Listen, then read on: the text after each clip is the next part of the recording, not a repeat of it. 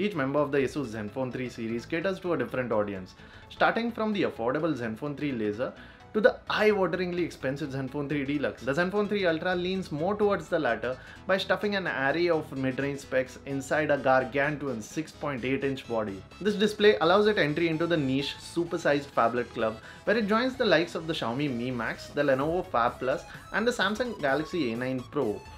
Unlike the other three devices though, Asus's Almost tablet has a premium price tag of Rs 50,000 that cost and the sheer size of this device is enough to scare away casual large panel enthusiasts, leaving only those who are looking for a powerful multimedia device that bridges the gap between a phone and a tablet. But are the benefits of a large screen enough to justify parting way with such a large amount of cash?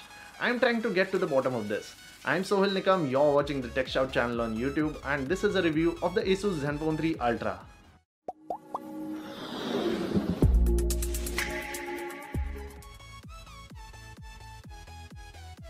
The Zenfone 3 Ultra creates quite an impression the moment it's taken out of the box. Despite its large frame and its considerable weight, this phone is comfortable to hold with two hands and it doesn't drag you down with its mass. Having said that, gripping the phone for long periods of time can cause palm fatigue. Attempting to fit it inside a pocket is a fool's errand since it will almost always stick out and make walking slightly uncomfortable. Asus has done a bang up job when it comes to designing the Zenfone 3 Ultra. The eye-catching metal chamfered border looks attractive and the overall build quality is also very solid. Also, the slim bezels make sure that the display stands out. The left side of the phone has been left blank while the right features a power button and two different slots, one for a nano SIM and one for a micro SIM or a micro SD card.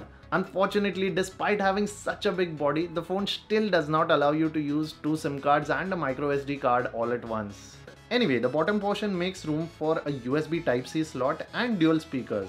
The back features Asus's signature rear-facing volume rockers, the buttons of which are easy to reach, but we did find that they were a bit hard to push. Other than adjusting the sound, the keys can also be used to trigger the camera when the screen is switched off. The Zenfone 3 Ultra's 6.8-inch Gorilla Glass 4-layered screen offers 1080p resolution and 324 ppi pixel density. This resolution is complemented by the brand's true-to-life processor as well. This panel is crystal clear and can be easily viewed from all angles. While this panel excels in most tasks, a Quad HD resolution would have made most sense given the phone's cost and its large size. Coming to the audio, Asus has thrown all kinds of enhancements at this phablet. Its bottom facing 5 magnet speaker is accompanied by an NXP smart amp while there's even DTS Headphone X Virtual 7.1 surround sound technology to improve the music heard over the included ZenEar headphones. Overall the sound coming through the speakers is loud and distortion free and the headphone sound too is accurate in terms of audio reproduction. Now we come to Asus's Android Marshmallow based Zen UI 3.0 user interface. Bloatware has always been the issue with Asus phones in the past and the Zenfone 3 Ultra does little to change that. Some apps like the Puffin browser and SimCity Build It can be removed, but others such as Zen Circle and Photo Collage are here to stay. Customization continues to be the king here, with hundreds of different ways to change every aspect of the Zenfone 3 Ultra. Among the more useful features is Asus's Zen Motion, which lets you open apps without having to wake up the screen. As is the norm with phablets, the Zenfone 3 Ultra features a one-handed mode that can be invoked by pressing the home button twice. The window can then be resized and repositioned to your liking. Even the keyboard can be made bigger or smaller and moved around. Typing is a bliss on this device because the large screen makes sure that the keys are not smushed together.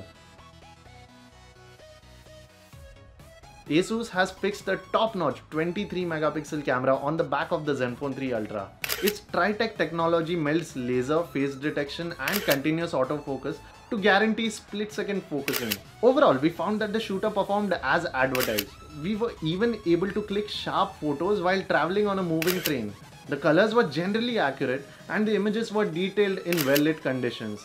Less so at night though. Also, indoor environments can bring forth grain and a drop in sharpness. For some reason, Asus still continues its age-old practice of setting the default resolution to a value lower than what the camera can actually offer. In this case, it's set at 16 megapixels for a 16 to 9 ratio, as opposed to the 23 megapixel 4 to 3 ratio that it can offer. Anyways, there are quite a few useful modes to choose from in the camera app, Options like time rewind, GIF animation, manual, and depth of field are welcome add ons, allowing you to experiment till you capture the perfect shot. Coming to videos, the Zenfone 3 Ultra tops out at 4K resolution. These videos come out great with little to nitpick in terms of color or detail. The selfies look good, but observing them shows that they are low on detailing. And in low light, the level of detailing goes even lower, and there's a lot of grain. Speaking of selfies, it's quite a precarious task trying to click a photo with one hand given the phone's massive size. That's where the easily accessible countdown timer can prove to be very useful. The Zenfone 3 Ultra has an octa-core Snapdragon 652 processor and 4GB of RAM running the show. This combination is more than up to the task for handling the giant's day-to-day -day operations. We faced absolutely no lags during our time with the handset. Gaming was glitch free by and large with the massive display making it an overly pleasant experience. Coming to the battery life, Asus has appropriately given this device a 4600 mAh battery to keep up with its 6.8 inch display. With moderate usage, the handset was able to offer us 2 days of worth of battery life and even with heavy usage you can actually make it work for one and a half day. Fast charging makes refueling a breeze.